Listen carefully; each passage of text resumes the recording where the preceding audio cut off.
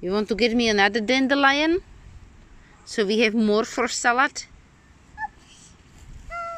Nice one. Put it here in the basket. Where does it belong to? Put it in the basket. That's a nice one, but put it here. That's a beautiful one. Put it here. There. And where is chicken of the woods? Show mama where is chicken of the woods.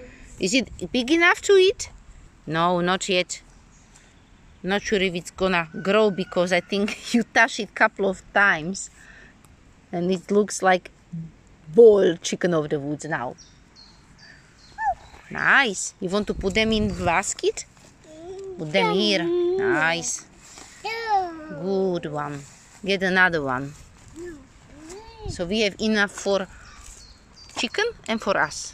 That's a nice one. Wow, that's a big one. We prefer small one, baby ones. They are better, but okay, whatever suits you. I won't be fussy with you. Yeah, put it there in the basket. Very good. Good rabbit food. We will be good rabbits. Oh, that is nice one, Linda. Here, get here. This one is nice. Yes, get them. Get them. What are they good for? Liver and kidneys. These are old ones. Okay, we will keep them for our chicken, will we? We will keep them for our chicken.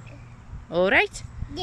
Okay, put them all in the basket. I will select them when we get home. These are nice. Look, this is nice. Young. Get baby ones. Damn.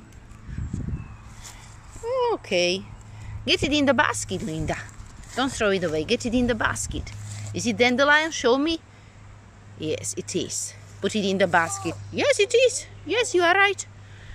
Sorry for doubting you. Sorry for doubting you. Put it in the basket. Here in the basket. Hmm? There. Down in the basket. Good girl. Good. Oh, yes, good.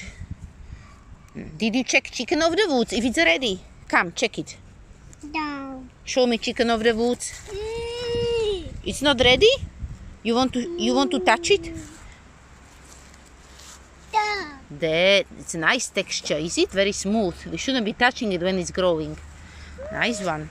Mmm, yummy. That's yummy. Yummy in your tummy, Linda. Where is your belly? There is your belly. you want to get more dandelions?